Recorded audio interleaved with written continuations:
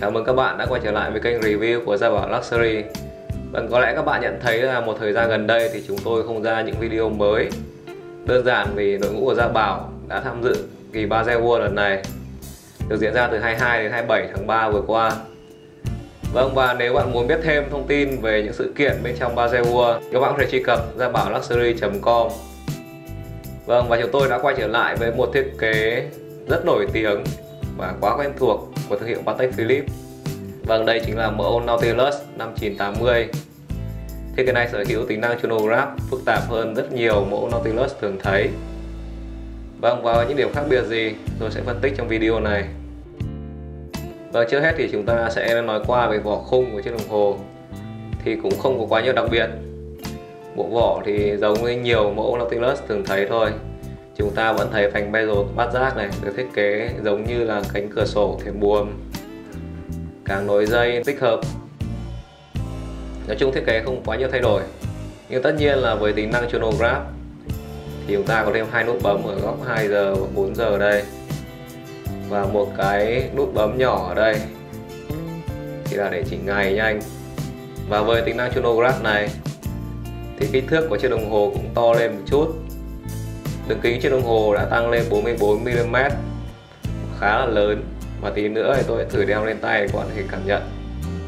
Về độ hoàn thiện thì chúng ta vẫn giữ nguyên tất cả những cái phong cách hoàn thiện cũ của Patek thôi.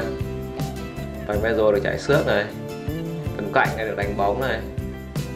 Và phần thân phần thân vỏ cũng được chảy xước. Và phần cả nồi dây đây lại được đánh bóng. Vâng những cái đánh bóng và chảy xước đan xen lẫn nhau thì sẽ tạo điểm nhấn cho đỡ nhàm chán.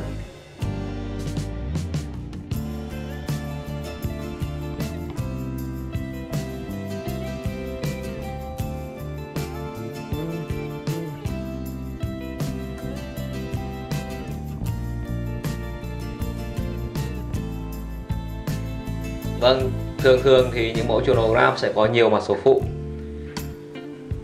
Thường thì chúng ta sẽ có cái thiết kế gọi là compact. Có nghĩa là gì? Có nghĩa là ba mặt số phụ. Một mặt số phụ chỉ dây và hai mặt số phụ chronograph nhưng mà Patek Philippe thì chỉ có một mặt số phụ chronograph mà thôi.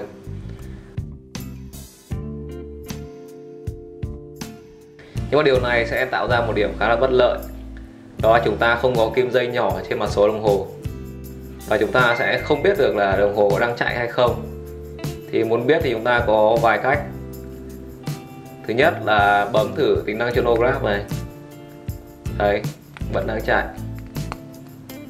Hoặc là thứ hai chúng ta có thể nhìn cái balance. Bánh xe cân bằng trong hoạt động đằng sau. Vâng nhưng nhưng nói chung thì cái này cũng không quan trọng lắm. Một số người kỹ tính thì họ lại thấy khó chịu thế thôi.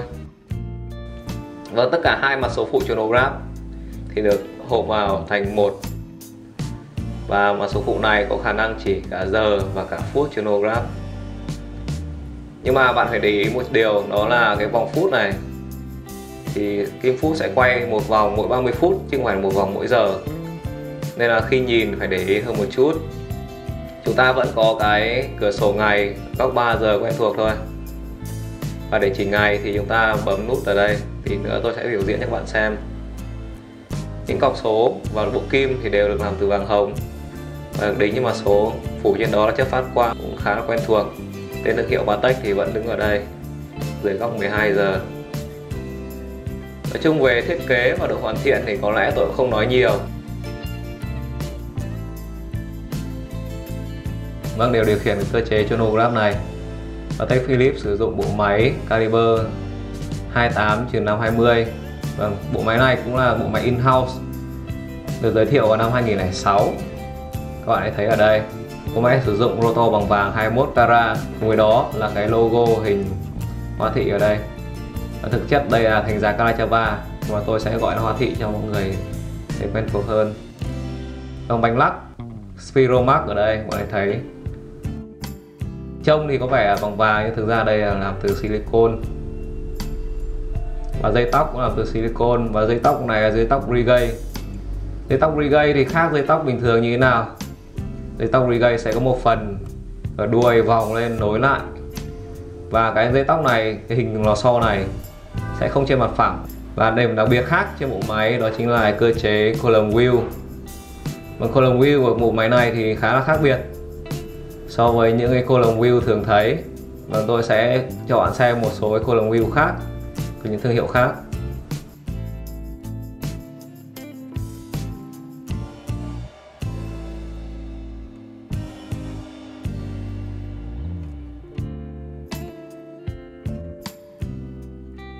Bộ máy này vẫn có con dấu Patek Philippe quen thuộc rồi Xuất hiện sau năm 2009 Về những kỹ thuật hoàn thiện thì có lẽ là quá quen thuộc rồi. Những đường vân sọc này, vân xoáy tròn này, vát cạnh này. Và về độ hoàn thiện thì có lẽ tôi sẽ không dùng thêm mỹ từ nào để nói về chiếc đồng hồ này. Bởi vì đã có quá nhiều lời khen về bộ máy của Patek rồi. Và khen thêm thì nó cũng quá là thừa thãi.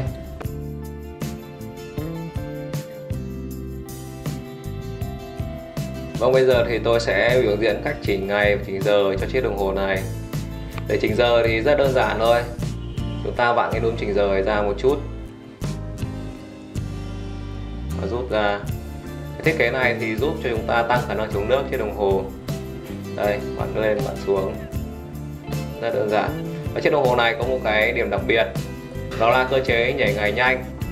Vâng, thường thì đến tầm khoảng 11 rưỡi hay là 12 giờ kém 15 ở những chiếc đồng hồ cơ thông thường thì có một cái giai đoạn gọi là nhảy lịch.